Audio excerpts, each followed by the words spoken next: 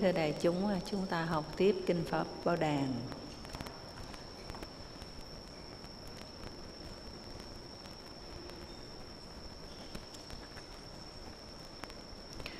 Một hôm ngũ tổ bảo các đệ tử Tất cả hãy đến ta nói với các ông Người đời sanh tử là việc lớn Các ông trọn ngài chỉ cầu phước điền chẳng cầu ra khỏi biển khổ sanh tử.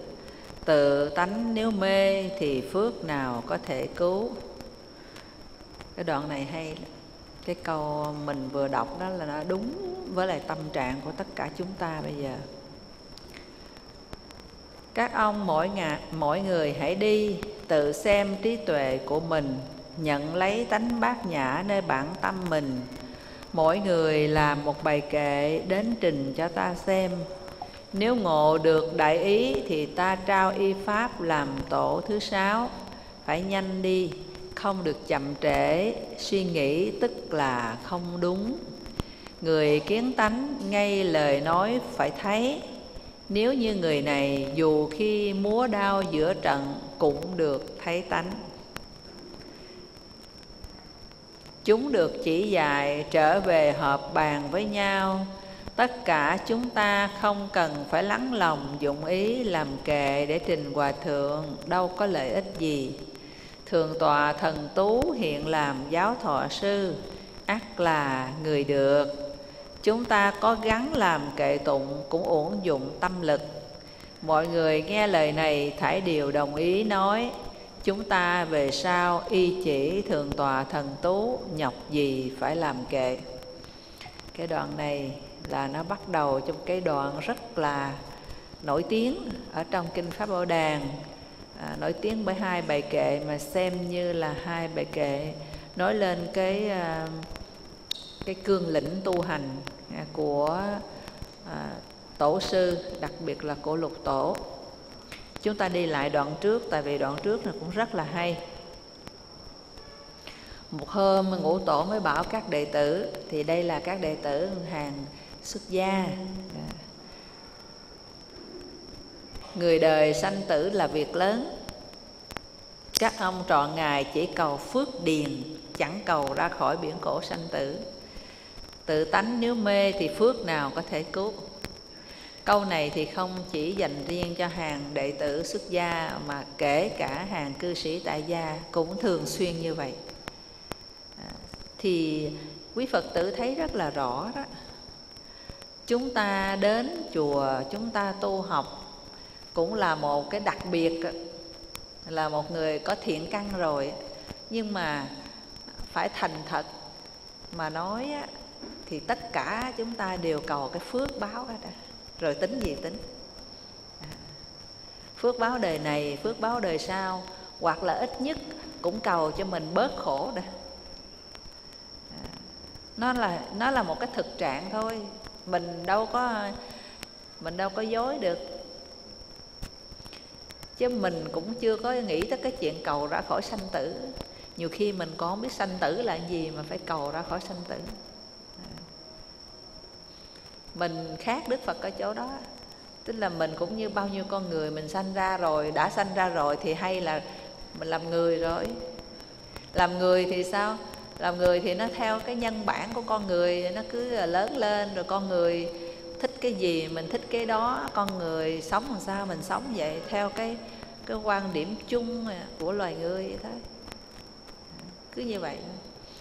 Nhưng mà có một cái mình sợ là mình sẽ sợ bệnh, mình sợ chết. Đó. nhưng mà khi mà mình bắt đầu mình vào cái thai ờ, của loài người rồi thì nó đã có sẵn cái đó rồi. Và thưa với đại chúng đó, không phải là chờ một cái thai nhi sinh ra rồi lớn lên rồi già rồi chết. Thưa không phải, cái chết nó có ngay cái mầm sống. Ngay trong mầm sống là có cái gì? Là đã có cái chết. Mà phải có cái nhân có ở luôn ở cái cái quả luôn. Tức là sống chết phải liên tục liên tục. À.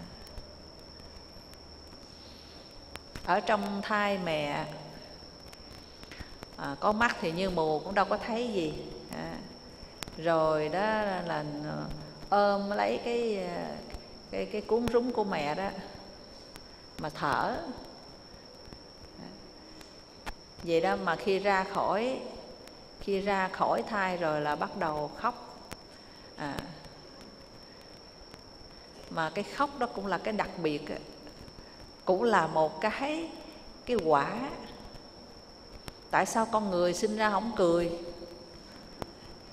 Em bé sinh ra cười giờ là, là, là tốt. Là phổi làm việc. Mà tại sao nó khóc? Mới gọi là phổi làm việc mình thấy cái biểu hiện của cái, cái nghiệp của cái chúng sinh sinh ra là nó khổ cái đã nó khóc. Mà nó không khóc thì phải đánh cho nó khóc chứ không nó chết. Dạ, nó khóc càng to là phổi càng tốt. Thực ra là chúng ta thấy là sinh ra là là đã có cái khổ nó theo liền vô đó rồi. Khóc tu qua thì thì mình vọng tưởng mình dịch ra là khổ quá sinh ra là khổ quá khổ quá khổ quá. Ờ, hét lên, khổ quá. Đó. Tại sao khổ? Mới sinh ra mà tại sao khổ? Đó. mình thấy mình đi ngược dòng mình đi ngược dòng không phải đi của ai, không phải phật tổ, mình đi ngược dòng của mình nè. Lúc đó mình biết, thưa đại chúng, nhưng mà mình không có phân biệt như bây giờ và mình chưa có, cái cái não của mình nó chưa chưa có lưu cái dữ kiện để chúng ta ghi nhớ như bây giờ. Chứ biết do biết mới khóc đó.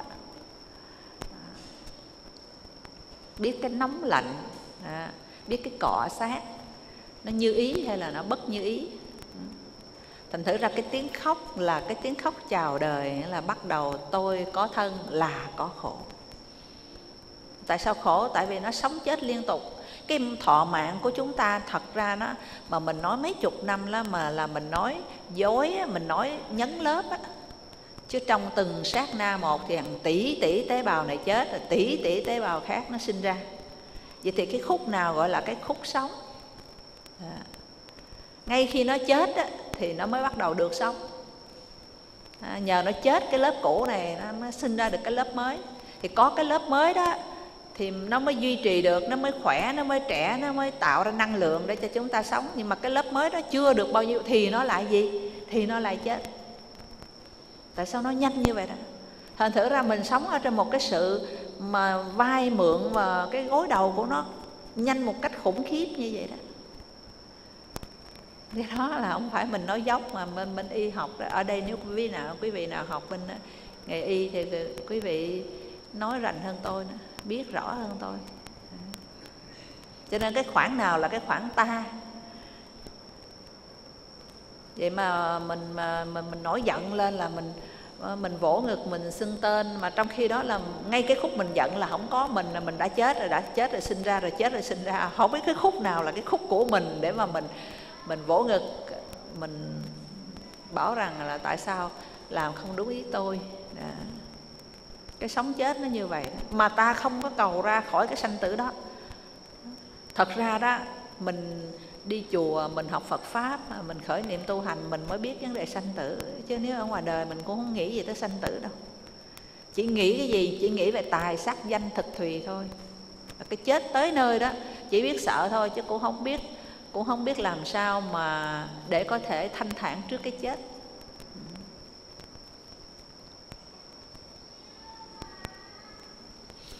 Chúng ta mà nhìn thấy cái chết á, như là một ờ, ờ, một cái tử thần á, hiểm họa kinh khủng á, là bởi vì chúng ta chưa từng à, chưa từng à, đồng ý chưa từng đồng ý với lại cái quá trình có mặt đó. Chúng ta không đồng ý. Do chúng ta không đồng ý cho nên chúng ta bị dị ứng đó chúng ta ghét đó chúng ta không thích đó mà đó là một cái lầm lẫn rất lớn của chúng ta. Từ cái lầm lẫn đó mà phát sinh thêm cái lần thứ thứ hai là chúng ta phiền não. Chúng ta chỉ lo phiền não hoặc là hỉ não. Tôi tại sao mà tôi nói chữ hỉ não? Cái hỉ nó cũng làm động não lắm. À, cái vui nó cũng làm mình ngủ không được à cái phiền nó làm mình ngủ không được. Đúng rồi. Thì bây giờ quý phật tử nghiệm lại có cái vui nó có làm mình ngủ được không? Nó làm cho mình bình an hay nó làm cho mình cũng không có bình an? Nó lững tận tận nó cứ khắp khởi khắp khởi vậy à. nó giống như bị nhồi sống vui quá đó. Cái trạng thái nó phấn khởi nhưng mà cái phấn khởi đó của nó là một cái phấn khởi dao động chứ không phải là một cái phấn khởi yên định. Thưa phải không? À, nhất là những cái vui quá vui đó, đó. Vui quá sức vui nó có những người mà vui quá cười hơi chết luôn. Tại vì họ bị tăng xong họ bị tăng xong mà họ cười họ không có dừng đó. Họ cười quá họ chết luôn. Ừ. Cái đó gọi là sinh tử. Và cứ mỗi một lần sinh tử vậy đó, thì chúng sinh nào cũng phải trải qua cái quá trình à, sanh lão bệnh tử. Con thú nó cũng vậy thưa đại chúng nhưng mà cái thời gian của nó ngắn hơn mình. Ngắn hơn, dài hơn là tùy loài, tùy nghiệp phải trả. Chứ như cái loài ngạ quỷ hay là cái loài ở địa ngục á, nó dài hơn mình. Trời và địa ngục á, hai cảnh giới, một cảnh giới là thọ hưởng, sự khoái lạc, sung sướng và một cái cảnh giới là thọ, sự đau đau khổ. Thì cái tuổi thọ đều dài. Nó tương ưng với cái quả báo của mình, cái nghiệp lực của mình thì do vì chúng sinh khổ như vậy và chúng sinh không chấp nhận những cái điều mình không thích, cho nên chúng sinh mới cầu cái phước điền để được những cái điều đó cho mình thích. Cụ thể là được đừng bao giờ bệnh, đừng bao giờ già. Còn cái nữa, nói đừng bao giờ chết thì cái này khó nghe đó.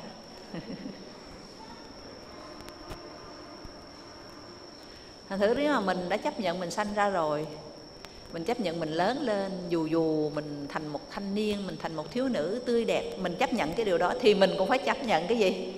À, mình già đi thì mình thành ra đẹp lão. Già mà mà lạc quan già mà vui vẻ sống có lợi ích thì tuổi già không gọi là già. À.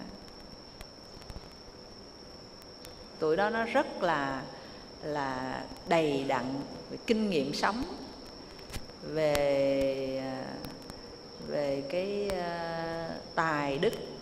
Nếu mà chúng ta xây dựng được một đời sống tốt đẹp. Và còn là, và còn là cái nơi nương tựa, tức là là cái nơi mà để nương về của bao nhiêu người, nó ấm áp. À, nó vui vẻ.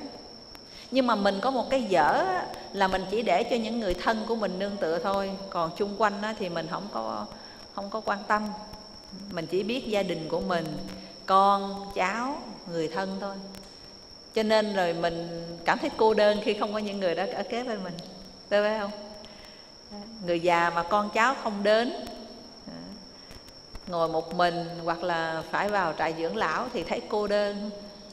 Tại sao? Tại mình không có chấp nhận những người xung quanh mình là người thân, thì họ cũng người mà họ cũng y như là chúng ta cũng là có thân rồi, có tâm rồi, tai mắt, mũi, lưỡi, thân, khẩu ý như chúng ta. Nhưng mà chúng ta không nhận họ là người quen của mình.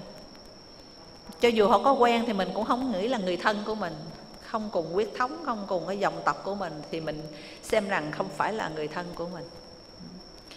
Vì vậy mà mới có cái chuyện mà mấy cháu trẻ đó, nó bị cha mẹ bỏ rơi đó mà đó được các cái hội từ thiện là chùa chiền nuôi thì nó cảm thấy là được an ủi và trong suốt cuộc đời của nó nó luôn luôn tuổi thân vì nó mồ côi.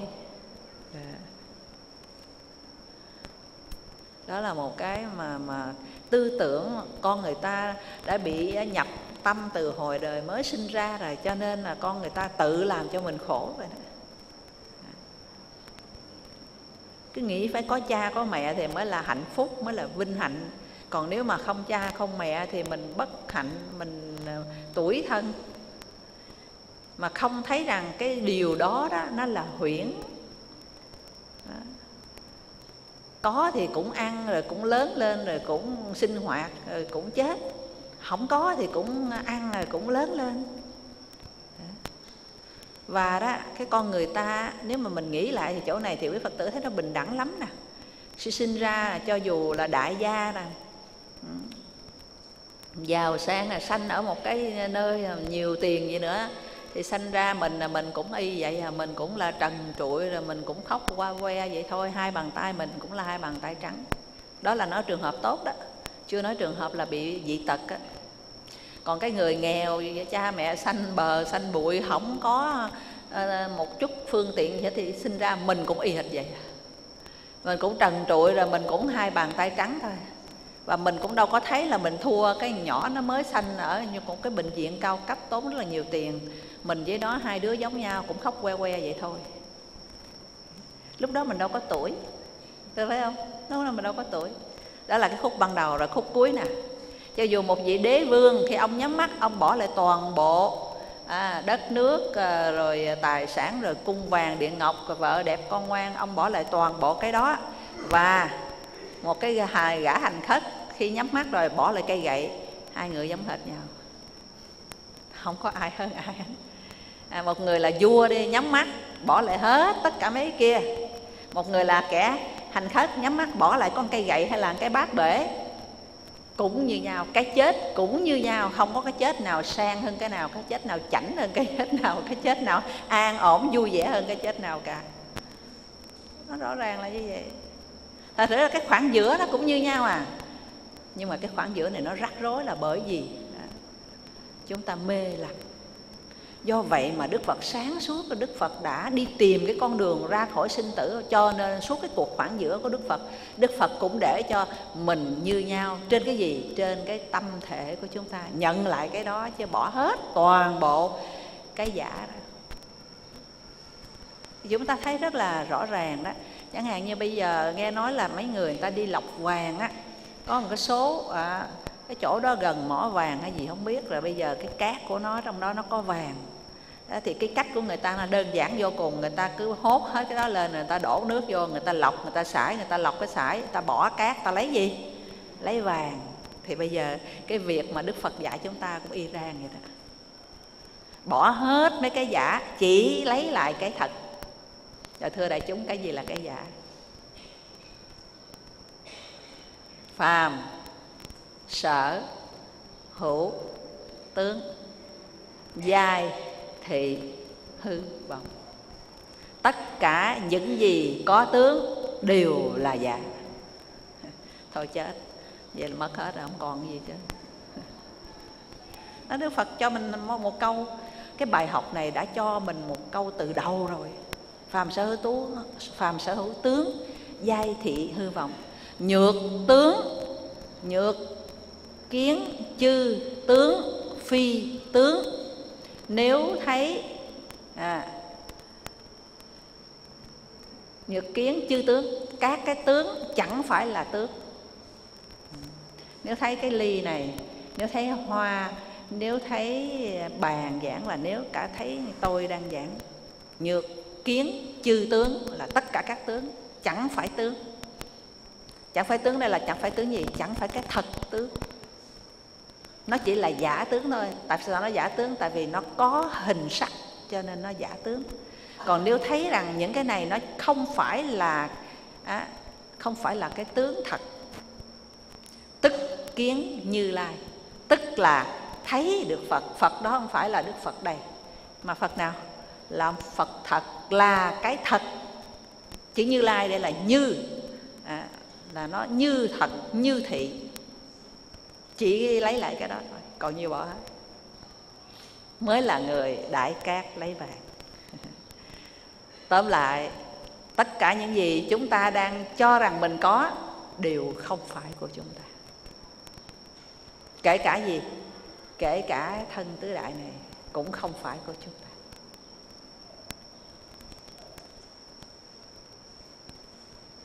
Đó đại chúng thấy khi mà cái à, thân năm ấm này. Thân năm ấm này nó là đủ là năm ấm. Nhưng mà khi nó già rồi cái sắc ấm nó bắt đầu rã rồi đó. Một rã rồi đó. Thì đại chúng thấy thọ tưởng hành thức á, nó cũng bắt đầu nó bỏ bạn mà đi đó. Cái thọ tưởng hành thức á, là cái tinh thần. Mà một khi cái sắc quẩn này là cái tứ đại này là do mấy cái chất đất nước gió lửa đó. Cộng thêm một số khoáng chất nữa. Đất nước gió lửa là người ta nói là những cái chất căn bản chẳng hạn như là carbon CO gì đó, đó là cái đất. Còn hero là gì? Oxy xin lỗi. Oxy là là gió. À, vân vân. Về phía bên y học người ta liệt bốn chất này bằng tên đàng hoàng đất nước gió lửa còn H2O phải không đó là những cái chất hóa học cộng thêm một số khoáng chất nữa khi mà những cái chất này nó bắt đầu không hợp tác nhau nữa thì chúng ta thấy cái dấu hiệu của người già là gì à, là lẫn đó. À. mà cái cái cái lẫn là một cái thiên nhiên á một cái quy trình thiên nhiên rất là hay tôi cho rằng như vậy tôi cho rằng người già lẫn là một cái hạnh phúc. Người già mà không lẫn, không ai chịu nổi. Nhờ lẫn thành thử ra con cháu nó mới thở được, nó mới sống được với mình. À, và chính cái đó đó, nó đỡ buồn cho nên lẫn nó cũng sướng lắm tại mình mình mình mình, tham quá chứ mà nó giờ quý vị nghĩ coi no hay không cũng không cần quan tâm. À, mình nói vậy không phải là mình mình mình mình đồng tình với cái vô tri vô giác nhưng mà mình nói trên cái mặt tích cực của nó. Mình nói trên cái mặt như huyễn của nó. Nha xin quý vị đừng có hiểu lầm mà tôi nói là tu thôi là lẫn là tốt không phải. Tôi muốn nói rằng dù lẫn hay không lẫn vậy ở cái giá trị ở cái chỗ không chấp á không não phiền á tôi nói vậy đó. Nhưng mà về cái cơ chế sinh học nó khiến cho chúng ta tự chúng ta không thể nào điều chỉnh được mình tự chúng ta không thể nào vui vẻ được thì giờ cho lẫn đi đặng cho nó bớt khổ. Cho nó quên hết đi. Thưa phải không? À, quý vị nhớ không? Mình mình sống thì mình nhớ cái gì? À, thì mình nhớ cũng lẫn quẩn mình và và cái ngã sở của mình thôi chứ nhớ gì? À, nếu mà chúng ta già thì chúng ta nhớ bản thân mình rồi chúng ta nhớ con rồi chúng ta nhớ cháu. Nhất là già mà đi không được ở nhà là ngồi trong trong ai thì cũng trong người thân với trong ai. Có thì trong theo có không có thì trong theo không có. Trong bạn bè bà lối sớm là bà đi bà về chưa nó nó nó cô đơn á. Tức là cái tâm phan duyên nó quen rồi không có thể tự sống với mình được. Cho nên phải đi kiếm cái để mà phan duyên. Nó sống nó nó nó, nó vô định như vậy vô vô nghĩa luôn. Đó. không có thấy an vui mà không nhận ra được cái dấu hiệu đó rồi cứ theo cái duyên là tới ngày nào mình yếu, cái rồi mình va vấp phải những cái e, bệnh già nó sớm hơn cái bình thường rồi mình đau khổ à. mình sống là như là là mất hết cái nguồn sống, đau khổ à. là mình cứ chạy đi theo đi theo cái giả, cái huyễn thành thử ra đó, nhờ già mà chúng ta không nhớ là mình mình đói hay no. Để nếu có ai cho mình ăn thì cũng được, mà ai không cho mình ăn thì sao? Cũng được cũng được. Ừ. Thì có nhiều người mà mà mình không biết cái cảm giác của họ như thế nào mà họ họ mất hết cái cảm giác tới mức họ mặc đồ hay không mặc đồ, họ cũng quên. Thiệt ra thì tôi thưa với đại chúng, không phải tu để như vậy tôi nói ở cái mặt khác. À, tu thì không để lẫn như vậy nhưng mà dù không lẫn nhưng mà nên để cái tâm rỗng rang á. Đừng có vướng bận như vậy nó mới khỏe. Không quan tâm. Mà không quan tâm không phải vì tôi lẫn mà tôi không quan tâm. Tôi không quan tâm vì nó không đáng để tôi quan tâm. Người tu là như vậy người tu khác với lại người đời là như nó không đáng. À. Tới một lúc nào đó tôi phải trở về với lại cái sự thật.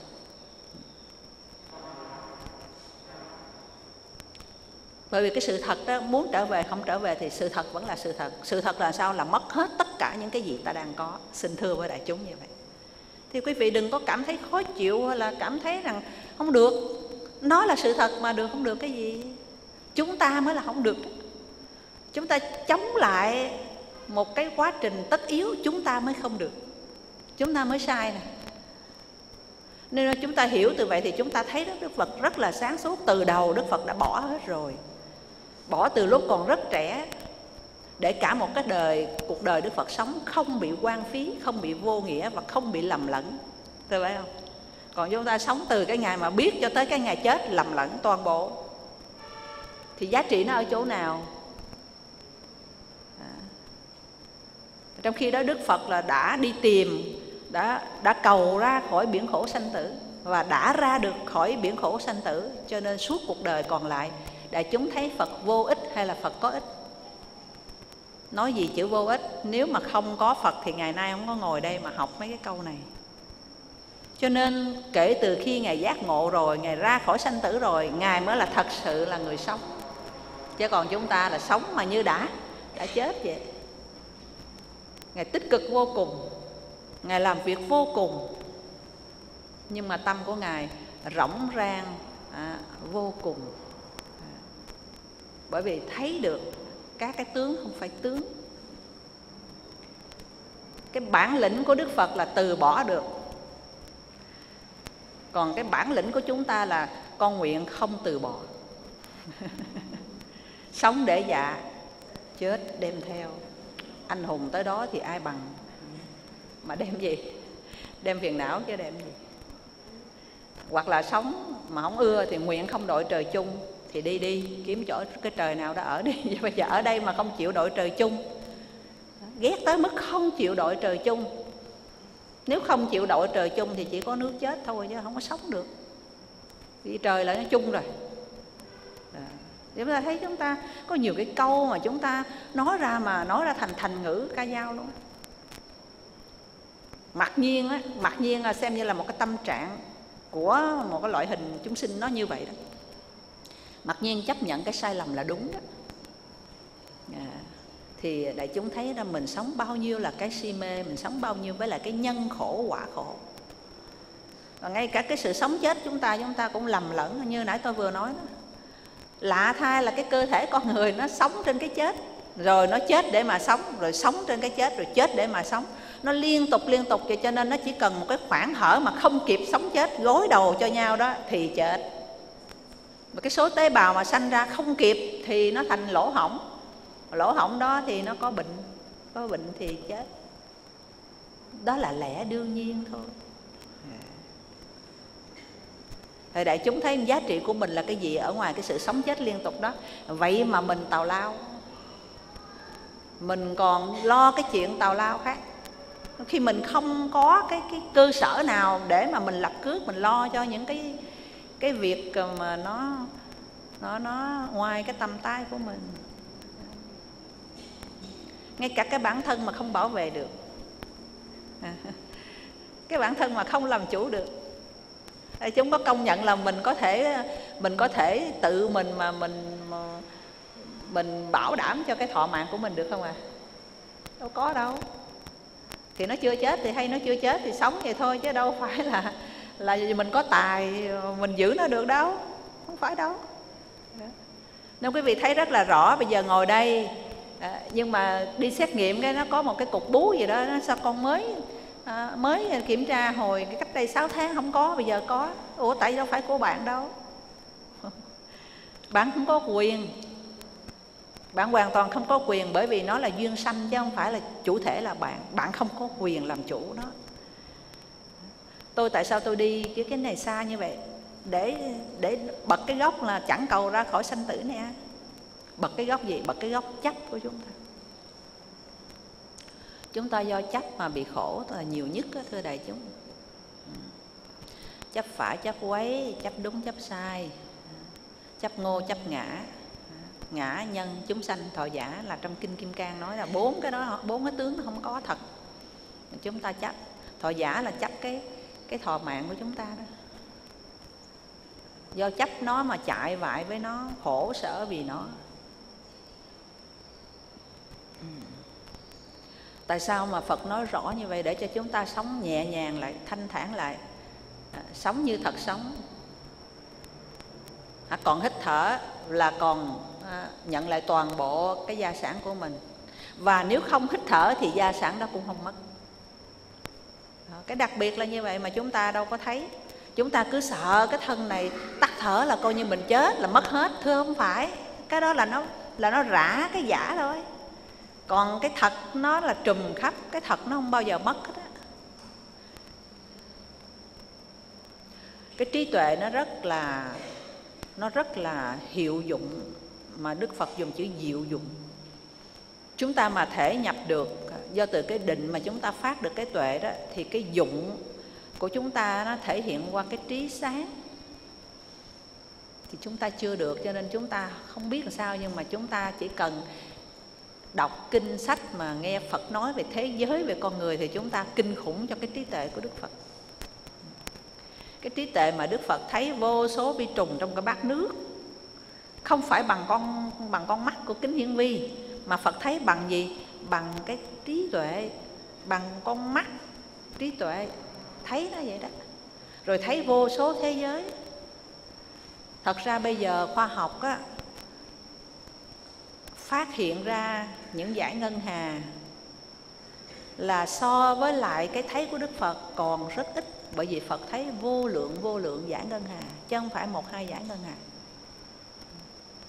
Và Phật nói rằng cái giáo pháp mà ta nói cho các thầy nghe đó thì nó giống như gì? Nó giống như lá trong lòng bàn tay của ta.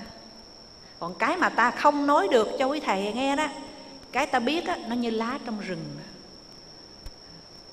Là cái trí tuệ do tu thôi.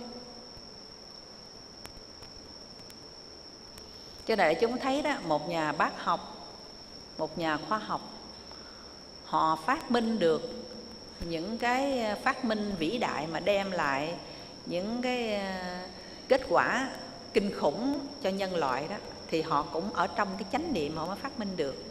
Nhưng mà cái chánh niệm của họ là cái chánh niệm phan duyên theo cái đề mục bên ngoài thưa phải không? Mà họ đã có những cái phát minh như vậy đó tức là từ chánh niệm mà họ sáng từ chánh niệm từ sự tập trung và một vấn đề xói sâu liên tục à, thì họ phát minh ra được những cái thần lực. Thì ta có thể hiểu giống như ngoại đạo á, mà họ thiền định thì cũng là chánh niệm á, nhưng mà họ không trừ được cái vọng tưởng, họ không trừ được cái lậu hoặc, cho nên họ cũng có thần thông. Thì các nhà khoa học đã có thần thông. Cụ thể là mình thấy mình có thể bay rồi. Ta không dùng hai cái tay ta bay, nhưng mà ta leo lên máy bay thì ta bay được rồi. Cái đó là thần thông chứ gì, thưa đại chúng? Một chiếc máy bay nó chở được bao nhiêu người? Nó chở được mấy trăm người? Đấy là thần thông nhưng mà thần thông có khi nào bị rơi xuống không? Đó thần thông vẫn có thể bị mất. Thần thông mà tắt một cái là chết toàn thay mà chết không phải một mình mình mà chết tập thể luôn. Và chỉ cần cái nền khoa học á nó bị lái đi một con đường khác. Thì hồi xưa đó khi mà chiến tranh đó, con người ta dùng cái súng bắn tạch tạch tạch tạch bắn một cái chết người bắn một cái chết người cứ bò theo mà bắn còn bây giờ không cần. Chỉ cần ngồi ở tại đây thôi. Mà cũng không cần bắn ai. Chỉ cần sao? À, nhìn vô cái máy. À, xem cái tọa độ nó rồi bấm nút một cái thôi. Bên kia chết sạch sẽ. Và vì bên kia cũng sợ bị chết sạch sẽ cho nên bên kia cũng chế ra cái máy. Hả chờ bên đây mà bấm cái thì bên kia cũng sao? Bấm cái hai bên chết sạch sẽ. Người ta gọi là chết hòa đồng chết. là cái là cái quà thứ 8 thân quà đồng bệnh là cái quà thứ bảy. Ta có lục quà thôi mà chúng sanh bây giờ nó chế ra nhiều cái hơn. À, thân quà đồng bệnh chết quà đồng chết. À, chết một cái là chết hết thiên hạ luôn. Nhưng mà phát minh để chết thì thiệt ra nó vô lý quá. Cho nên phật không thèm không thèm tập trung vào cái chuyện bên ngoài mà tập trung định lực đi vào bên trong mà nhờ đi vào bên trong nó mới biết rằng tất cả các chuyện bên ngoài, cho dù là một cái nền, là một nền kỹ thuật vĩ đại, thì nó vẫn có sự cố như thường. Nó vẫn có sự cố. Nó càng nó càng mà vi tế bao nhiêu, nó càng lợi ích bao nhiêu thì nó càng có những cái à, cái mặt trái của nó nguy hiểm bấy nhiêu. Chúng ta thấy rõ ràng bởi vì nó làm sao? Nó là pháp sanh diệt. Tóm lại là phật nói các các con. Nếu mà muốn ra khỏi gốc khổ thì ngay đây các con phải cầu ra khỏi cái hư dối, trở về với cái chân thật. Cái gì cái hư dối thì nãy tôi vừa nói, cái gì có tướng đều hư dối. Cái mà phật thị hiện nó hay ở chỗ này nè, thưa đại chúng. Phật thị hiện là bỏ cung vàng bỏ vua cha. Bỏ mẹ. Thì Mahabasa Ba Đề là tuy là mẹ nuôi nhưng mà cái tình thương thì cũng như mẹ ruột thôi. Bỏ vợ bỏ con trai. Hay cái là thị hiện có vợ và có con. Bởi vì có vợ có con mà bỏ được nó khó hơn là không vợ. Chẳng hạn như không có gia đình mà nó đi thì nó nó, nó đơn giản này nó không có cái cái cái cái cái một cái tâm trạng của cái sự uh, một cái sự đấu tranh để mà để mà mà thoát ly khỏi cái mình bị trói buộc thưa phải không? Tại vì cái mà trói buộc nặng nhất ở trên thế gian không phải là tình cha con hay mẹ con mà là tình gì? Tình vợ chồng. Nam nữ cái ân ái đó nó nặng hơn rất nhiều. Tôi không biết à tôi nói theo kinh à biết gì hết cái đó Phật nói là nếu mà trên đời này nó có một cái thứ hai bằng cái đó thì thua. Không cách gì mà tu nổi hết á. Nhờ có một mình nó thôi mà đấu tranh với nó phấn đấu với nó muốn chết luôn. Mà Phật thì hiện có hay ở chỗ đó. Để chi? Để cho chúng sanh á, đừng có đổ thừa à, ngài tại vì ngài không có vợ không có con ngài đi dễ còn con có vợ có con mà. Con khó đi đó, phật có luôn đó. Ta có luôn cho mi đi. Tại vì sao? Tại vì nó không thật, tại vì nó sẽ làm cho mình khổ. Tôi thì tôi thấy rõ ràng á, các bạn nữ của chúng tôi thì là có chồng khổ lắm. Tôi, cô ơi, thì tôi nghĩ các bạn nam cũng là có vợ khổ lắm, cô ơi, phải nói vậy cho nó bằng với người ta chứ. Không lẽ nói có vợ sướng lắm, cô ơi? Thì đâu có vị nào đi tu nếu mà có vợ sướng thì không người nào đi chùa không người nào đi tu đâu. Nó phải có cái khổ chứ. Đó. Vì chúng sinh mà nó bình đẳng thôi. Cho nên mình nói mình khổ thì à, người khác cũng khổ thôi. Vậy thì muốn đừng khổ thì đừng có. Được không? Ở đây dám hứa không? Mấy vị già rồi thì thôi nó quá hết rồi còn nó đứt dây hết rồi còn gì nào hứa gì không hứa à, quý vị là còn gì để mà hứa? Chứ quý vị trẻ kìa. À, quý vị trẻ mà ngồi đây có dám hứa là thôi bây giờ vậy thì con không để trói buộc không? Có nhiều khi mình giảng như vậy chứ xuống sẽ có một cô đưa hai cái tên ra hỏi cô coi hai cái tên này hợp không? Ờ, chuyện đó là tại vì mình à, tu thiền phật tử không dám hỏi nếu mà mình tu ở trong mấy cái chùa ở trong kia là hỏi cái chuyện đó là bình thường hoặc là đã gãy gánh rồi đã khổ muốn chết rồi còn hỏi bây giờ con đi tiếp được không? À, có sức mà chơi. À, có sức mà liệu mà chơi vậy hả? À. chúng ta thấy rõ ràng là là chúng ta mê làm một cách kinh khủng lắm chứ không phải mê làm vừa phải đâu. Thiệt ra thì cái nhân cái quả nó cũng rõ ràng đó. Nhân này là nhân an vui thì sẽ dẫn tới quả an vui nhân này là nhân đau khổ thì sẽ dẫn tới quả đau khổ chọn đi. Đó, chọn đi. Mà ai cũng nói mình ngu gì mà chọn cái nhân đau khổ. Con đâu ngu gì mà con chọn nhân đau khổ. Ở vậy thì chọn đi. Nói thì nói vậy nhưng mà chọn là chọn nhân đau khổ. Chạy theo ngũ dục là chọn nhân đau khổ. Tại vì ngũ dục bản chất là hiểm họa chứ nó đâu phải là an lạc tài sắc danh thực thì nó là hiểm họa. Nó rõ ràng như vậy. Có thể nói là tại con không biết không biết là hồi chưa làm phật tử thì không biết. Nhưng mà đã là phật tử rồi thì không thể nào nói là con không biết ngũ dục là hiểm họa. Biết hết. Biết hết nhưng mà không đủ bản lĩnh để mà viễn ly, để mà cắt bỏ. Tại sao? Cái này đâu quý vị hỏi tới hỏi tới coi tại sao? Không cắt bỏ nó thì được cái gì? Liến tiếp buồn phiền, lo lắng, sợ hãi, được cái gì? Tại sao mỗi lần mình khởi cái niệm lo lắng, khởi cái niệm buồn phiền, mình không nghĩ liền, ôi, bỏ đi đi, lo làm gì? Buồn làm gì? Mình nói đơn giản vậy thôi, để mình không có phải rơi vào trong cái tâm trạng không thực đó nữa. Tâm trạng rất là khó chịu và không có thực. Nhưng mà nó cứ cuốn mình vào trong tâm trạng đó nhất là quý vị mà buồn phiền có phiền não đó buồn hoài buồn hoài. À, buồn quá cô ơi con buồn quá cô ơi. À.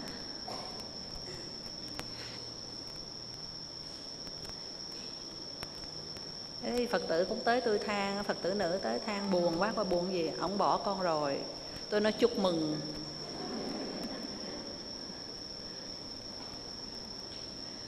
Mình còn bỏ mình đừng nói ổng nào mà không bỏ mình. Mình đã bỏ mình rồi thì còn ai mà không bỏ mình? Cái chân lý nó sáng tỏ lắm thưa đại chúng. Như cái điều tôi nói đó Thật sự ra là à, tôi thích thú nơi cái lời Phật dạy. Thì tôi cũng ráng làm. Hả? Khi nào làm được thấy vui lắm. Làm được thấy nó nhẹ nhàng nó khỏe. Buông bỏ đi một cái cái cục à, suy tư nghĩ tưởng cái cục ờ, phiền não nó sướng chết luôn. Quý vị thấy khi mà ăn không tiêu đó ờ, ở cái thế nó sao? Ăn không tiêu mình ở cái nghe sao? Nghe khỏe ở tức là cho nó ra phải không? Đó, xuất khí cho nó ra. Khỏe. Ở không được phải uống thuốc cho ở thì bây giờ đó là phiền não là là không tiêu. Ăn không tiêu. Nuốt vô nó nằm đó hoài phải làm sao nó mới khỏe? Phải cho nó tiêu mới khỏe. Không thể nào mà nuôi phiền não mà khỏe được. Do vậy mà chúng ta đi chùa đó. Đi chùa là để tìm cái cách để cho nó ở phiền não ra. Cho nó nhả được cái đó ra. Thì phật nói rồi trời ơi tưởng đâu con bị cái gì thì như lai khó chứ con bị phiền não thì nó quá dễ. Hỏi sao vậy phật? Con đem ra đây phật. À, buồn giùm cho. Là cái câu của tổ nào? Tâm con bất an, xin thầy cho con pháp an tâm, đem tâm ra đây ta an cho, là cách giải ở phiền não.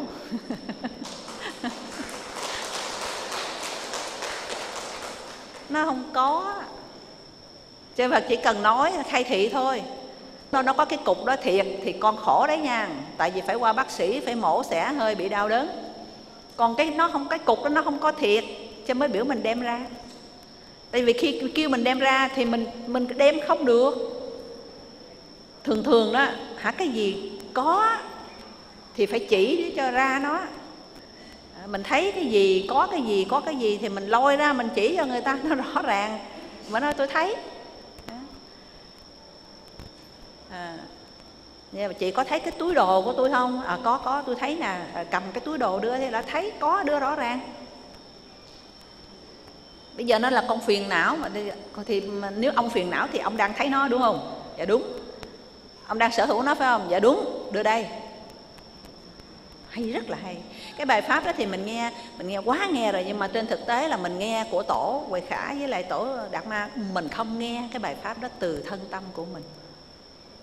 Cho nên nó về nói về cái phương pháp để mà đoạn trừ phiền não thì nó nhiều lắm, từ phật xuống tới chư tổ cho tới bây giờ nhiều lắm, mà chúng ta cũng đang nói những cái bài đó đây chứ có nói cái bài nào khác được. Cái phương pháp nói vậy thì phải nói vậy thôi. Nhưng mà sao vẫn chưa giải sầu hết cho cho nhân loại như thế này? Dạ, đó, để chúng thấy nó rõ ràng. Cho nên là chúng ta bị một cái mê mờ gì á, mà nó không có rõ ràng. Mà nó cứ ờ, mơ hồ nó có quấn quyện lấy mình nó dẫn mình đi. Mất hết những cái hiện thực mà mất hết cái sự à, an ổn thanh thản của mình uổng quá đi. Sống bằng vọng tưởng mà. Cho nên là bác nhã nói sao? Câu nào cũng hay, thưa đại chúng, mà câu nào cũng cũ xì. Viễn ly, điên đảo, mộng tưởng, cứu cánh niết bàn. Bữa nay có nói gì mới đâu. Nhưng mà nó mới tin là tại vì con làm có được, thầy ơi. À. Để tại sao làm không được? Đó. Thật ra tu nó hay lắm. Quý phật tử tu là có làm á. Làm được á, cho nên bây giờ mình thấy mình đỡ ngu. Hồi trước khi học phật, thưa có không à? Có chứ bây giờ quý vị xả hơn nhiều lắm rồi. Tôi nghĩ vậy tại tôi nghĩ là mình vậy thì thiên hạ cũng vậy thôi. Hồi xưa mà ai nói với mình à, mà mà, mà một tiếng nặng tiếng nhẹ là mình à, không không nhịn đâu. Nhưng giờ thôi thôi. Nó mặc sức nói đi. Nếu mà mình càng ngày càng càng hay ra thì cái vấn đề mà phải quấy đúng sai thật sự là không dính dáng luôn Phật thị hiện luôn nè. Phật thị hiện khi mà Phật tu rồi, thành đạo rồi nha. Chứ không phải là hồi còn cư sĩ mà hồi còn sống mê mờ như chúng ta. Hồi thành đạo rồi, có bị người ta sỉ nhục không? Có bị người ta hại không? Làm hết, cái gì cũng có hết á. Có để cho mình tu. Như lai rất là an ổn. Vậy thì trong cuộc sống của quý phật tử đó, mình giúp cho người ta nhưng mà cuối cùng người đó quay lại người đó hại mình. Rồi quý phật tử có ấm ức không? Có nên ấm ức không? Can đảm nói coi. Mình so với phật ai ngon hơn? Phật phước hơn mình hay mình phước hơn phật. Nói đi, cái này trả lời được mà. Ai ai phước lớn hơn? Phật phước lớn hơn mà phật có bị nạn không? Vậy tại sao mình không không được bị nạn? Ngon. Vậy thì hết nạn. Tại vì phật bị nạn mà phật không có chết gì hết chỉ có buồn mới chết. Buồn riết mà chết. Có nhiều cái hoạn nạn chẳng hạn như mình làm cái việc gì đó không biết mà bây giờ nó thành ra cái hoạn nạn mình phải phải lao lý. Rơi vào vòng lao lý thì có hết chư tổ cũng bị lao lý. Chứ quý phật tử đừng có đừng có nghĩ trời ơi con cả đời nè, nè, nè, đàng hoàng học hành rồi đàng hoàng có một cái địa vị đàng hoàng mà sao giờ rơi vào lao lý thiệt ra thì thấy nó lao lý thì nó thành lao lý Vậy nếu mà từ đầu thấy nó là pháp không thì ở nhà cũng không mà ở cái chỗ khác không tự do nó cũng không thôi. Chư tổ nè, bị cởi cà sa nha, bị tống giam nè. Liên miên từ Trung Hoa tới Việt Nam thưa đại chúng. Cho nên người tu á cái câu mà ngộ rồi á thì diệt hết nghiệp à, bao nhiêu cái kiếp đó là một cái câu như thế này một khi mà mình không ngộ thì mình tạo nghiệp. Cái câu đó, chữ nho trong chứng đạo ca tôi không có nhớ hết mà cái ý đó à, và ừ, cái gì mà diệt khước a tỳ nghiệp đó hay là a kỳ nghiệp đó thì khi mà chúng ta nhận được cái bản tâm rồi đó sống được với bản tâm rồi đó, thì bao nhiêu nghiệp nó diệt hết? Bao nhiêu tội nghiệp từ nhiều đời không còn? Rồi mình tưởng đâu là mình quỵt nợ được. Không phải. Tức là mình nợ chúng sanh thì chúng sanh nó vẫn đòi à, đòi nhưng mà mình trả cũng như không trả. Nghĩa là sao? Nó chửi mình cũng cười. Chứ không phải nó không chửi à. Nó bệnh mình cũng bình thường. Nhưng mà bình thường có nghĩa là mình không khổ tâm thôi chứ đau vẫn nghe đau chứ ví dụ bây giờ cơ thể của quý phật tử nó có một cái viêm ở chỗ nào đó nó nhức nó đau. À, thì thiền sư à, chư phật chư tổ cũng nhức cũng đau nhưng mà các ngài đau nhất đó là cái chuyện bình thường không có thấy gì mà phiền não. Còn mình nhức đau mình rên. Đó. Ờ, chắc chết quá à. đó. Nói chắc chết mà mà mà mà không chết nó mới nói được chữ chắc chết. Chứ nó mà chết rồi đâu có nói được chữ chắc chết mà sống mà thấy như chết thì cho nên khổ. À. còn các thiền sư đau hay là không đau mình không biết, tại quý ngài an nhẫn. Cái chữ nhẫn trong nhà phật nó hay lắm, thưa đại chúng. Là sanh nhẫn và pháp nhẫn. Sanh nhẫn là nhẫn được với người thương mình và ghét mình. Đây gọi là sanh nhẫn. Nhẫn với các chúng sinh thuận và nghịch là sanh nhẫn. Còn pháp nhẫn là nhẫn với các pháp thuận và nghịch. Mình nghe nói nhẫn với nghịch thì mình thấy nó quen nhưng mà sao nhẫn với lại thuận thuận mới là đáng nhẫn đó. Thế là trong cái luật của người tu á, người ta ghét mình, mình không được ghét lại. Người ta đánh mình, mình không được đánh lại. Mình chạy, chứ không có đứng đó nha. À, Và có một cái nữa là người ta thương mình, mình không được thương lại. À, cái này mới khó đó. Nhưng mà chúng ta đừng có hiểu chữ thương đó là cái chữ thương của nhà phật. Cái chữ thương đó là sự trói buộc. Cái nhưng mà chúng ta là có cái bệnh, người ta ghét mình mình ghét lại. Người ta đánh mình mình đánh lại. Người ta thương mình mình thương lại. Mình tử tế. Đó. đây gọi là bất nhẫn, chứ không phải là nhẫn. Không nhẫn được. Dạ. Là tại sao cái thuận phải nhẫn? Tại vì cái thuận nó sẽ đưa vào mình trong sự đắm mê và bị trói buộc. Cho nên phải nhận, nhất là người tu. Phật tử thương mình, cúng mình rất là nhiều thứ. Mình vui theo những cái cúng kiến đó, rồi những phật tử quan tâm tới mình, thương mình mình sẽ ưu tiên thương lại họ. Là đạo nghiệp tiêu liền tại chỗ. Chắc chắn vậy. Để cho nên là khi mà khi mà thí dụ như bây giờ có đại chúng đông người ta cúng thì mình chia về đại chúng. Còn nếu là cá nhân mình mà người ta cúng nhiều thì mô phật. À, tôi sẽ chuyển cái này đi về đại chúng nha. Đừng đừng có nhận. Ở chứ hồi thời phật phật đâu có cho nhận đâu. Nhận vậy là trói buộc. Cho nên có một số phật tử đó khi về chùa thấy quý cô phục vụ cực khổ thương và đặc biệt là có nhiều cô dễ thương quá cái rồi phật tử để ý thích cái cô đó. À, với lại cô ấy dúi vô cô cái bao thơ. Con cúng dường cô nè. À. có những cô thì à, sợ bích lòng phật tử à, cười gật đầu nhận nhưng mà gửi lại liền cho chùa. Còn có nhiều cô thì thẳng thắn và chùa không cho giữ tiền. À, trả lại.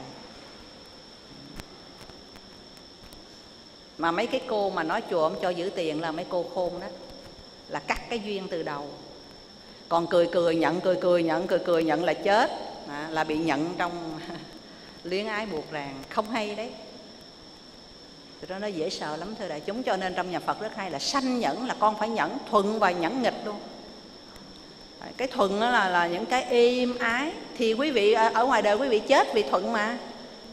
Đó trước khi mà khổ vì nghịch là đã thích thú vì thuận. Từ đầu đó khi mà gặp nhau thương mến nhau là thuận mà. Nhưng mà từ cái thương mến nó dẫn dẫn vào để cuối cùng à, thương mến nó không phải là thật cho nên nó sẽ bị biến đổi. Vì nó là pháp sanh diệt cho nên nó sẽ đổi. Thương mê mến từ từ cho tới hết thương mến rồi qua tiếp tục là âm thương mến. chứ nó không phải dừng lại ở cái chỗ đó. Tại vì nó là pháp sanh diệt, nó là pháp vô thường. Mình hiểu cái chỗ này rồi thì phật tử sẽ rất là thản nhiên tại sao hồi trước thương mà bây giờ không thương. Tại vì nó đúng quy luật, nó đúng quy luật vô thường. Tại vì hồi trước mình dễ thương, người ta thương. Rồi bây giờ mình mình gần mình lâu ngày nó lòi ra toàn bộ cái không dễ thương của mình thì người ta không thương nữa. Thì nó hợp lý. Hồi xưa tôi có người chị hồi đó chị lúc còn gái thì chỉ quen á sau này là vị đó là chồng chị luôn ấy quen anh đó mỗi lần mà anh đó mời chị đi ăn gì á chị ăn ít rất lắm ăn ít ăn chút chút chút vậy thôi. Để sau này khi cưới chị về chị ăn lần ba tô. Anh nói cho bà ăn gì thế ghê vậy? Tôi nhớ hồi bà tôi tôi tôi con mới đi theo bà đó là bà ăn có một chút xíu à, à cái chị nói thì tại mới quen nhau thì tôi ăn tôi tôi tôi ăn à, tôi ăn lấy à, lấy lấy điệu thôi tôi ăn lấy dáng thôi chưa chưa ăn thiệt. Bây giờ tôi mới ăn thiệt. Thì anh mới nói trời phải rồi đó bà ăn thiệt thì tôi khỏi theo cưới tôi về tôi nuôi bà đâu có nổi. Ăn mà tôi ba tô. Đó thì thì cái hồi thương là do ăn vậy ta, ta mới thương chứ bây giờ về ăn ba tô sao thương được? Ăn ba tô ta nuôi không nổi người ta hết thương. Nó hiện ra nó hiện rõ rõ ràng. Hồi xưa thì không có dám nói gì nhiều cứ cười cười cười cười rồi về về cứ xối xả nó hoài cái máy nó hư tắt không được. À, cái cái nút tắt nó nó hư rồi nó nó hoài, từ sáng tới chiều ai mà chịu cho nổi. Thương gì nói nữa. Tất cả đó đều có hết. Nó nó hợp lắm, nó nhịp nhàng nhau lắm. Nhưng mà chúng ta không chịu. Ờ. Chỉ cần có trí tuệ thôi mà thôi giải quyết được hết luôn. Không có cái gì mà không giải quyết được. Giải quyết bằng cách làm sao? Giải quyết bằng cách buông xả. Dừng lại. Nói nhiều thì đừng nói nữa còn mấy người ít nói á, thì họ hay cọc. Một bên nói một bên tác cái đó vừa đó. Cái đó nó hợp với nhau. Lắm nói nhiều bên kia tác. Thì bên đây đừng nói bên kia đừng tác là hạnh phúc. Là yên ổn. Cái pháp tu nó cũng đâu có gì khó, quá khó. Cho nên mỗi lần mà quý phật tử mình có thói quen hay nói đó sắp sửa nói rồi thôi nói cũng không làm gì. Tôi có đọc được cái câu này mà tôi thích lắm là thưa đại chúng ta đọc được cái câu này nè. Với người đã hiểu thì mình không cần giải thích, tại vì người ta đã hiểu. Với người không hiểu thì mình cũng không cần giải thích, tại giải thích họ cũng không hiểu. Tóm lại, không bao giờ giải thích. Khỏe. Giải thích là dư.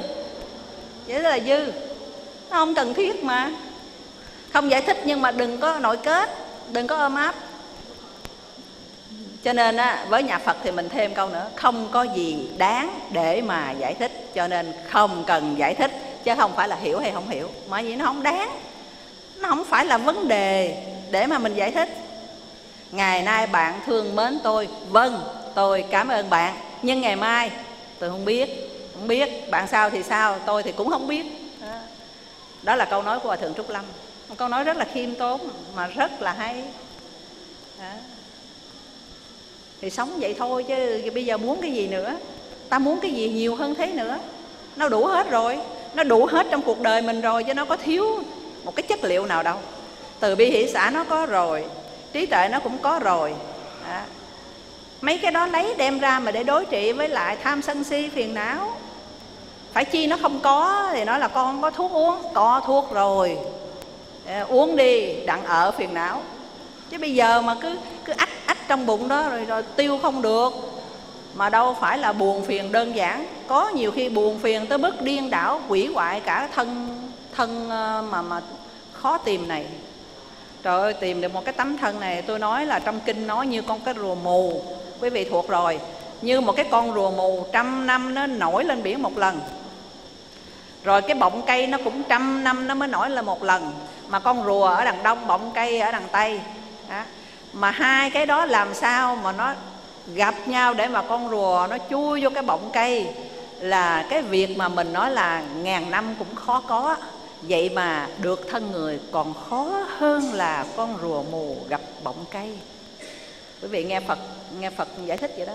Mà tôi tôi xin dẫn chứng một cái điều để cho quý phật tử tin cái điều phật nói là đúng, chứ không cần phải là mình mình mình thấy được như đức phật tôi xin hỏi đại chúng, cái số người ở trên cái thế giới này á hiện tại là khoảng mấy tỷ người thôi, phải không ạ? À? mấy tỷ? Ba, bốn tỷ gì kệ nó, cho là ba, bốn tỷ, tôi cho 10 tỷ luôn đó, nha. Cái số con người ở trên thế giới này là con số ba, bốn tỷ gì đó. Mà bây giờ tôi chỉ nói con kiến với con mối thôi. Quý vị tính đi, con kiến với con mối mà không phải trên thế giới, ở một cái đất nước mình thôi mình biết là nó con số tỷ hay là con số ngàn. Một cái ổ kiến và một ổ mối đó. Quý vị có đếm nổi nó không? Chưa kể cá, chưa kể chim trời, chưa kể hết mấy cái loài thú kia. Thì chúng ta thấy rằng về cái sinh mạng của chúng sinh thì loài nào nhiều hơn? Súc sinh nhiều hơn. Nha, súc sinh nhiều hơn. Tôi chưa kể là con trùng, con dế, chưa chưa kể mấy cái đó con sâu, con bọ. Người ta gọi là con sâu cái kiến, con mối, con kiến là nhiều lắm luôn đó thưa đại chúng. Con mối với con kiến là không tính được luôn. Thì bây giờ tính cái dân số giữa người và thú đó, thì cái dân số nào đông hơn? Dân số nào đông hơn? Đông hơn rất nhiều lần hay đông hơn chút thôi. Như vậy thì làm người hiếm hơn hay làm người là là là dễ hơn? Đủ để thấy làm người so với làm thú cực kỳ quý hiếm. Vậy mà tự giận chết. À, tự giận chết một cách lãng nhách không phải tự giận chết đáng không phải tự giận chết vì là là là mình mình mình uh, đáng lẽ đó buồn là vì mình không nhận ra được bản tâm của mình mới đáng buồn. Còn này mình buồn là vì những cái chuyện tào lao những cái chuyện không đáng. Thì tôi không dám dẫn chứng ra tại vì nó vô lý và nó nó dở quá đi nó quá dở rồi mà chúng ta là quỷ hoại một cái thân không dễ gì có được. Trong khi mượn cái thân này để mà tu hành, giác ngộ à, rồi tiếp tục độ bao nhiêu người thì nó hay biết là bao nhiêu. Không biết tại sao mà chúng ta bị hạn cuộc. Ở nơi một người, hai người mà chúng ta bỏ mất toàn bộ cái cộng đồng, mình không hiểu được. À. trong khi đó, những người sống vì cộng đồng đó, người ta đâu có bị trói buộc cái gì mà người ta vui biết bao nhiêu sao mình không làm được cái điều đó? Người ta cũng con người thôi mà. Và đôi khi người ta cũng không có tài năng lắm đâu. Tôi thấy các nhà sư á, có những nhà sư họ bình dân lắm thưa đại chúng. Họ cũng không học hành gì nhiều nhưng mà họ sống rất là lợi ích. À, họ không cần thuyết pháp cũng được. Họ tu và họ giúp đỡ người nghèo. Họ nhường cơm sẽ áo hoặc là họ an ủi một hai người tính thí gì khi họ buồn phiền. Họ sống nhẹ nhàng mà họ đâu có cần phải tài giỏi lắm. Họ họ vẫn rất là có ý nghĩa. Tại sao ta không làm những con người vậy? Mà ta bị một hai cái cái sự việc gì đó hoặc là ta mất hết tài sản à, ta phải chết. Phải từ đầu là chúng ta đừng có tạo đừng có tạo cái cái cái cái nhân tham để mà chúng ta phải ờ, phải nợ nần nhiều thứ cho nên đi tu như này rất là cần thiết. Học Phật pháp như vậy rất là cần thiết. Đặc biệt là đối với Phật tử bắt đầu bước vào đời. Bước vào đời rồi thì đừng có tạo cho mình một cái nhân sau này phải khổ. Đừng tham đừng vì tiền đừng vì tình mà tranh giành đấu đá với nhau. Để rồi cuối cùng á, mình là người nhận lấy cái hậu quả đó. Bởi vì mấy cái kia phật đã nói rồi nó không thật nha con nó nguy hiểm nha con. Không một cái mối tình nào là thật bởi vì nó vô thường không có đồng tiền nào là thật bởi vì nó vô thường. Không một cái tuổi xuân nào là thật bởi vì nó vô thường. Nó rõ ràng như vậy. Cho nên là chúng ta à, chúng ta quá à, si mê thì chúng ta phải chịu thôi. Nó thuộc là nhân quả rồi. Không có cái khổ nào mà nó không có cái nguyên nhân của nó cả. À, nó là chân lý rồi. Nó là nó là đế chữ đế là chân lý. Tứ đế là có khổ thì phải có nhân của khổ không thể nào nói cô ơi bây giờ con khổ quá con bị cái này cái kia. Trước đó là chúng ta đã đã không có không có cái cái cái uh, sợ cái nhân. Cho nên có cái câu là bồ tát thì sợ gì? Sợ nhân mà chúng sanh thì sợ quả. Bồ tát khi làm người ta rất là sợ người ta không dám. Nhiều quý vị thấy cũng vì tham tiền mà mình á, bắt đầu mình đầu tư cái này cái kia, mình làm ăn cái này cái nọ. Mình trúng được một trận, hai trận, mình vui quá, mình lao vô tới hồi mình thua một cái rồi mình sạch tay, cái bắt đầu mình khóc. Mình khóc, mình khổ, có khi mình sản mình mất trí luôn. Đó. rồi mình nợ nần. Mà nó giàu sang hay là nghèo hèn gì Phật nói rồi, nó nó không phải là cái giá trị để mà mình hạnh phúc. Chỉ có học đạo mới dè được cái bước chân của mình từ cái giai đoạn đầu học đạo mà cũng phải kết hợp với chủng duyên nữa nha. Chứ học đạo mà không kết hợp với chủng duyên đó, thì cũng biết mà cố phạm như thường. Đó. cho nên ở đây á, cái câu mà lục tổ bảo các ông tối ngày chỉ cầu cái phước điền, tức là cầu cái sanh diệt, mà không cầu ra khỏi cái sanh tử. Tự tánh nếu mê thì phước nào có thể cứu? Rất là hay. Phước là cái hữu lậu, là cái sanh diệt đó, như tôi nói bay lên trên trời rồi mà ờ, vẫn có thể rớt máy bay mà. Đó có phước cho nên có tiền có tiền mới mua vé máy bay. Lên trên đó bay ngon hơn người đi bộ. À, tới hồi đi bộ nó té một cái thì nó chỉ trầy chân mà máy bay té một cái là chết ngay. Hết phước hết phước là máy bay rớt. Đó, quý vị nhớ như vậy đó. Cho nên là mình phải có định hướng. Mình tu là phải cầu ra khỏi sinh tử thì cái đoạn sau đó tổ nói ờ, cho quý thầy bây giờ mấy thầy theo tôi à, bao nhiêu lâu nay rồi? Quý thầy tu được cái gì? Mỗi người về tự xét cái công phu của mình. À, rồi á, trình cho tôi xem. Thì ở đây nó có thêm một cái câu mà mình thấy là một cái nhân cũng làm cho đại chúng quan mang à. Nếu mà truyền ờ, nếu mà trình mà tốt thì tôi trao y pháp làm tổ thứ sáu. Cái đây mà mình mầm mầm của gì? Mầm của sự tranh giành đó đó, thì à, đại chúng ở trong này có một cái điều nữa mà tôi thấy là một cái yếu tố hay là trong chúng không ai thèm làm. Tại vì ỷ vô thầy giáo thọ. Đó. như vậy thì chứng tỏ công phu của chúng này là đắc lực hay không đắc lực? Không đắc lực. Thứ nhất là mình tu là tu thôi không cầu. Bởi vì cho nên câu đầu là tổ ở liền. Câu đầu là ngũ tổ hoàng nhẫn đã thấy cái mầm này ở trong đại chúng mấy ông không cầu ra khỏi sanh tử cho nên tu hành không đắc lực. Quả nhiên không đắc lực. Ngài nói một cái là ở dưới này, thôi, làm chi cho mệt, để thầy thần tú thầy làm. Là điểm dở thứ nhất. Điểm thứ hai nữa đó là mình thấy rõ ràng trong này không có con mắt trí tuệ, cho nên á, cho nên không có cái tự tin về cái sự tu hành của mình.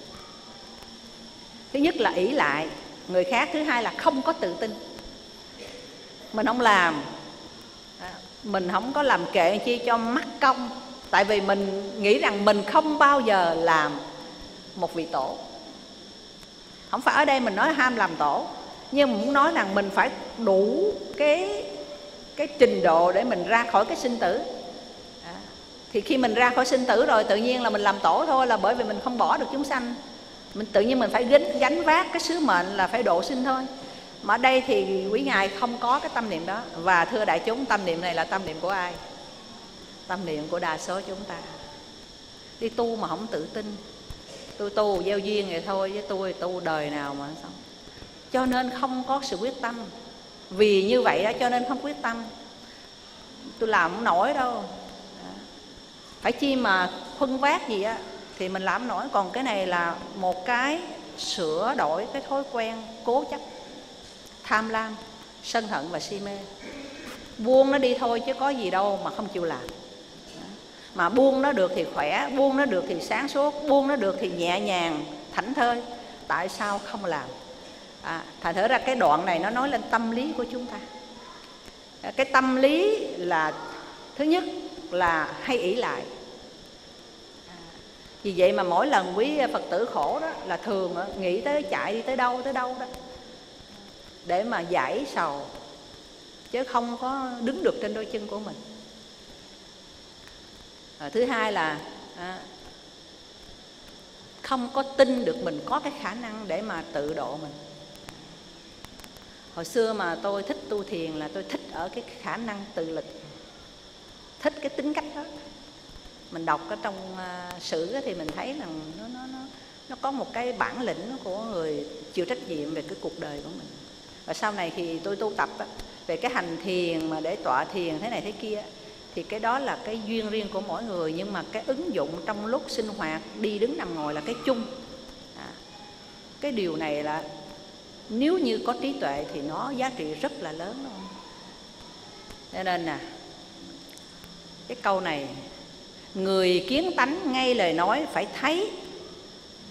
Suy nghĩ tức là không đúng người kiến tánh thì ngay lời nói phải thấy nếu như người này dù khi múa đao giữa trận cũng được thấy tánh. Múa đao giữa trận là đang lúc làm việc á mà mình nhận ra được cái chân thật á thì vẫn là trí tuệ vẫn không có bị mê mờ. Tôi nói cụ thể nha để quý phật tử ứng dụng cho trúng. Khi mà quý phật tử nhận được cái thật rồi thì trong cái sinh hoạt à, một người huynh đệ tới hỏi mình chị chị bữa nay chị có đi chùa không? Thì mình trả lời một là có hai là không. À, đó là đúng và trong tâm bình thường. Ừ. Còn nếu mà ta hỏi à, chị chị bữa nay chị có đi chùa không? À có đi. Nhưng mà đang suy nghĩ nè sao tôi không thích đi cái chùa đó tôi thích đi cái chùa khác? Đó là không có nhận ra cái chỗ thật. Đó là một cách. Còn cách thứ hai mà mình thể hiện mình đang dụng công phu nha. Mình đang sống với cái tánh của mình nha. Chị chị nay chị có đi chùa không? Nghe chị nghe. Không trả lời đã đi hay không? Mà trả lời với người ta là tôi chỉ hay nghe. Cái này không phải nha. Nhiều người nói với tôi vậy nè cô ơi nếu mà mình không phan duyên á, thì khi mình làm việc con ví dụ con là một người giáo viên con phải soạn giáo án. Mà bây giờ tu là không phan duyên. Vậy thì khi con soạn giáo án con có bị lỗi không? Tôi trả lời không. Tại vì nếu bị lỗi tôi tôi, tôi, tôi thuyết pháp là tôi bị lỗi đấy. Soạn giáo án không có bị lỗi. Nhưng mà vừa soạn giáo án vừa vọng tưởng thì bị lỗi. Soạn giáo án là một cái việc làm lợi ích cho chúng sinh. Thì khi làm chúng ta để tâm vào cái việc đó không tạp niệm. À, soạn xong rồi thôi không nghĩ về cái đó nữa. Không thích nó cũng không ghét nó. Không tự hào về cái giáo án của mình cũng không hổ thẹn về cái giáo án của mình. Không suy nghĩ gì về nó. Thì không có lỗi. Nói như vậy là phan duyên. Phan duyên đâu phải là lỗi cần phan duyên thì phan duyên không cần phan duyên thì không phan duyên. Đây gọi là lý sự sự sự vô ngại pháp giới.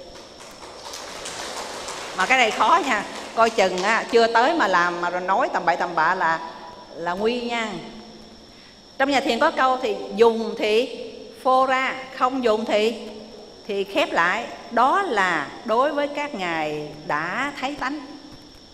Cho nên khi làm khi nói nó đều thanh tịnh lưu ý chỗ này. À, còn người chưa thấy tánh thì chưa thanh tịnh. Chưa thanh tịnh thì có lỗi. Thưa đại chúng lưu ý chỗ này.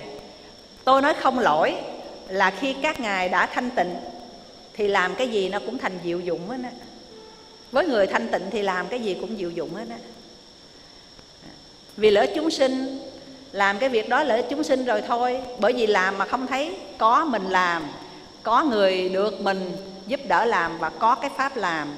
Không có cái tâm chấp trước, không bị vướng, không bị kẹt. Cho nên nó không có lỗi, nó không có lỗi là ở chỗ không vướng kẹt, chứ không phải ở trên cái công việc. Chúng ta lại lầm, chúng ta cho rằng làm việc là vướng kẹt, mà chúng ta không biết rằng chấp việc mới là vướng kẹt. Xin phật tử lưu ý ở chỗ này.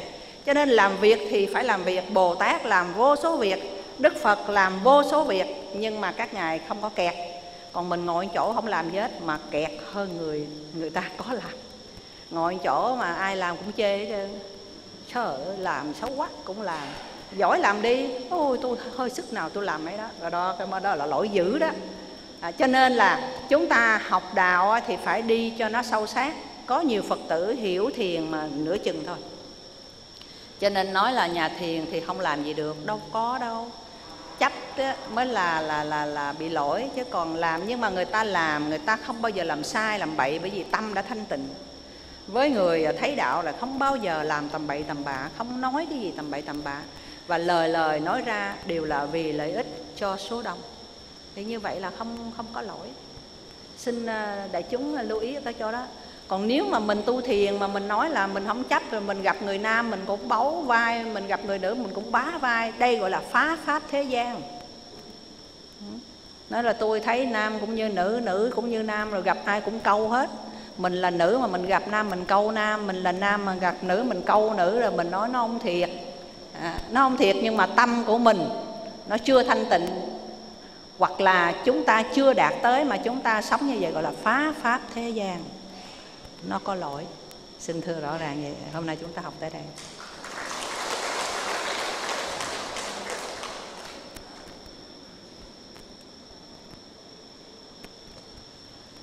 Thưa đại chúng ờ, nãy giờ ở đây quý vị có nhận được sách chưa?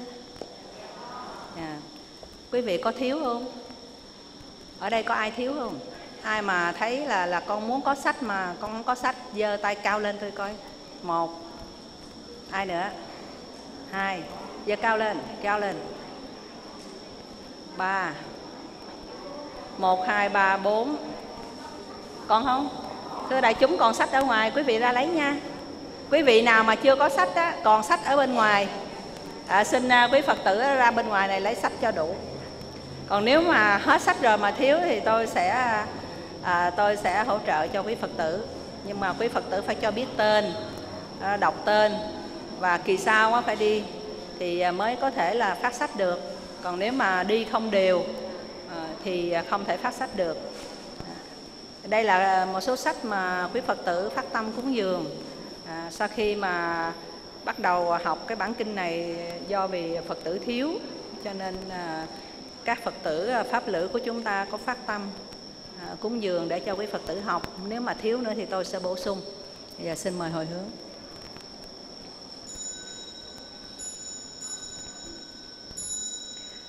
Chúng à, sanh à,